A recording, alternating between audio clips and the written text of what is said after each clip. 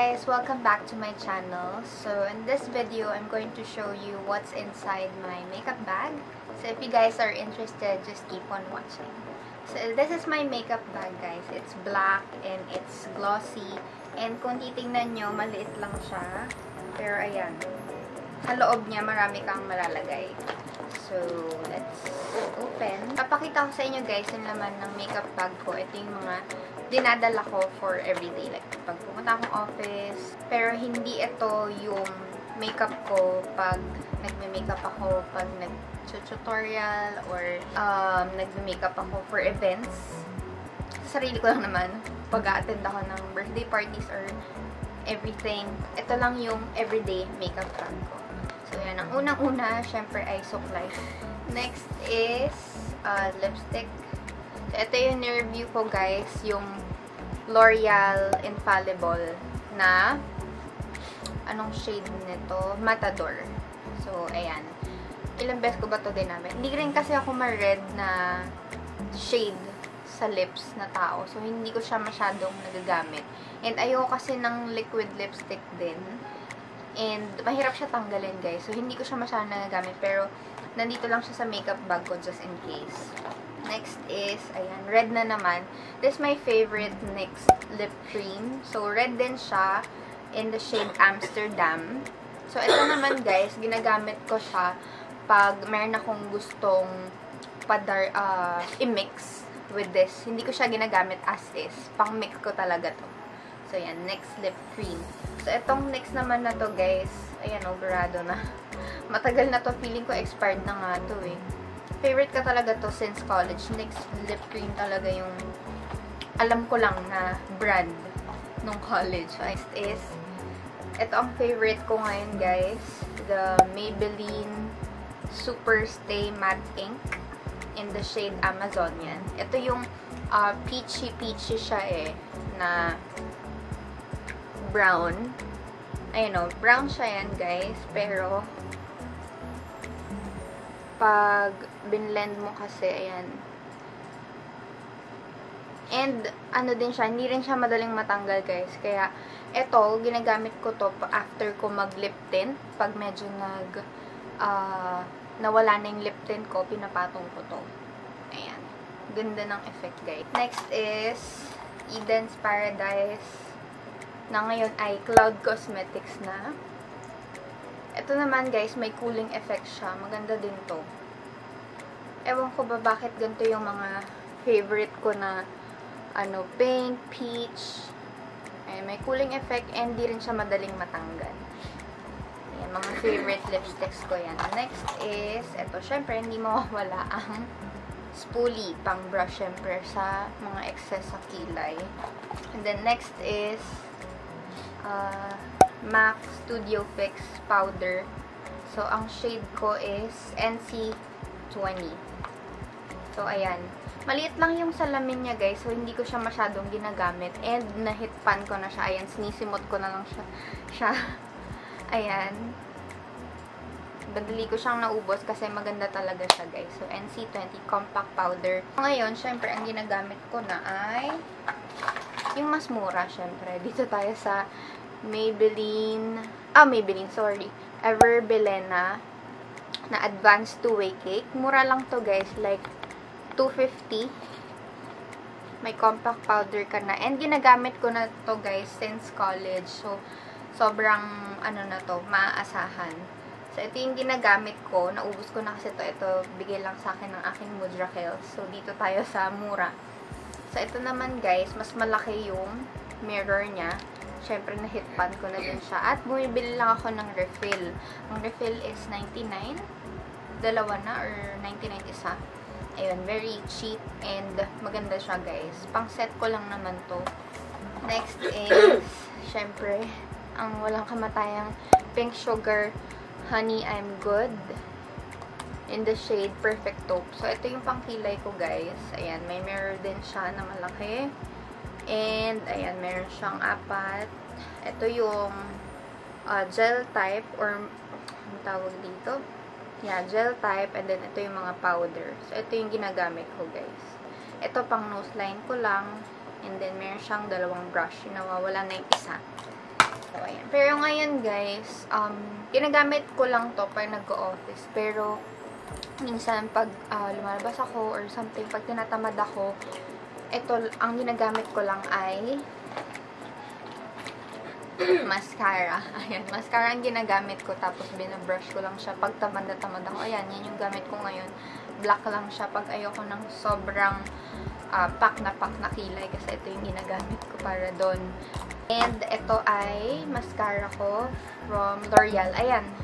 Guys, makikita nyo. Wala na siyang print. Nag-fade na. Hindi ko alam kung anong L'Oreal to, guys. Let me know kung alam nyo to. Dalawa to. Ito yung una. For volume ata to. Yeah, for volume. Tapos, ito ay for length. Ayan, mas basa to, guys itong side na to. L'Oreal to guys, and gusto kong malaman kung ano to kasi nire-research ko talaga. Galing din to sa aking mudra. So, hindi ko alam kung ano to. And for sure, pag tinanong ko siya, hindi niya rin alam. So, ito ay black brown. Maganda to guys kasi ito lang yung, ang takbuhan ko talagang mascara is Maybelline. Yun yung mga mascara ko dati.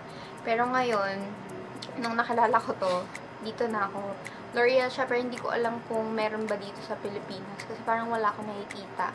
So, yun nga. Pag nagmamaskara ako dito, hindi siya bumabagsak. Lalo na pag ginagamit ko yung number 2, which is yung uh, lengthening. Yeah, lengthening. Yung volume kasi masyado siyang mabigat.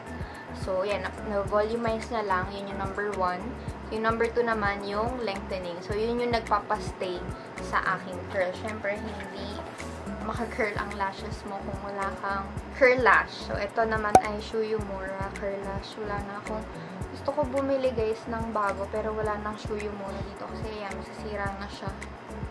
Let me know kung alam nyo tong uh, kind ng L'Oreal na to na mascara. Kasi favorite ko din siya at yun yung ginagamit ko sa kilay ko. Ayan. Is lip tint So, ayan. Favorite ko din to guys. Buy one, take one to pag bibili mo siya sa face shop. And ang shade nito is number 5, Cherry Red. So, ayan. Naubos na siya guys. Sobrang favorite ko to. Kasi pang everyday talaga siya. Pag bibili niyo siya, 150, uh, 300, buy one, take one. So, 150. So, mga ganun. Ganun yung price niya. Sulit na guys. Kasi sobrang pigmented nito. Try nyo. Next is Maybelline concealer just in case gusto ko mag-conceal at sobrang laki ng eye bags ko or maitim. So, yan. The shade Sand 20. So, ayan. Just in case lang naman, guys. Ayan, oh, puno pa siya kasi hindi ako ma-concealer masyado. Gusto ko yung natural lang. Uh, kaya wala akong foundation dito. Powder lang talaga. Next is, ito yung new favorite ko. Yung BLK Oh, ito, may review din ako nito, guys. So, lilink ko na lang dito. In the shade Daffodil. So, sabi ko dun sa review ko, gagamitin ko lang siya sa cheeks. Pero, ah, sa lips. Yeah, sa lips. Ayoko siyang gamitin sa cheeks. Pero, ayan. Ngayon, siya yung gamit ko, guys. Uh, okay naman pala siya. Maganda siya. Like, matte finish siya. Pero, kailangan mo lang lagyan talaga ng maraming amount. Kasi, pero maganda naman kasi siya. So, sa cheeks ko na siya ginagamit ngayon. Ayan. First impressions yun talaga yung pangit pag first impressions review lang. So, next one is Vaseline ayan, lip balm or lip therapy. So, ayan, ubos na siya, guys. Kasi pag sobrang nagcha-chop yung lips ko, like, nagbabalat. So, ayan, naglalagay lang ako nito. Next is, ayan, pag may mga moments na gusto kong maging, gusto kong uh, mabuhay yung mata ko. Ayan, yung gamit ako ng liner. So, ngayon naka-liner ako pero sobrang nipis lang. Ayan, this is the Maybelline Hyper Sharp Liner. Ayan, maganda siya guys. Alam ko mura lang to like 300. And, ayan siya. Oh. Basta ayan siya guys. Sobrang nipis niya. Hyper Sharp Liner. Maganda to. So, next is, ayan, MAC uh, Bullet Lipstick in the shade Velvet Teddy. So, ayan siya, guys. Nude na medyo dark. Ayan, medyo dark siya, guys. And the next one is Colorette. Colorette na Naomi. Ito naman guys, oil-based siya. So, pag ganyan, pag oil-based, I believe, matipid siya. Kasi ayan, pag nalagyan ko yan, ayan, hindi ko kasi agad. Pero, matipid siya guys. Naomi. Ginagamit ko lang to sa aking cheeks. Kasi sa lips, masyado siyang dark. So, sa cheeks ko lang siya ginagamit. Is this, yan, may lagayan pa talaga. Kasi, yan siya. Yung packaging niya, very maganda, ba diba? May mga gas-gas na din siya. Pero nilalagay ko pa rin siya dito. So, bigay lang to ng aking mother. Dolce and Gabbana na um, ano tawag dito? Blush on na meron onting shimmer as you can see guys. Kaya niya binigay sa akin to kasi may mga glitters glitters daw and meron din siyang kasamang brush. Yan.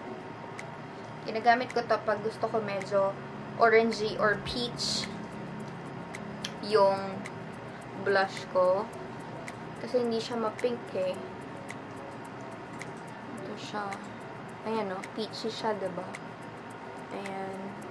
Pag gusto ko ganyang blush. Okay, next is, okay, MAC lipstick ulit. So, dinadala ko to everyday, guys, yung mga MAC lipstick ko. Kasi nude sila. Ayan. Gusto ko yung mga ganyan. So, kinda sexy. Ayan. Ito naman, nude din siya, guys, pero medyo pink.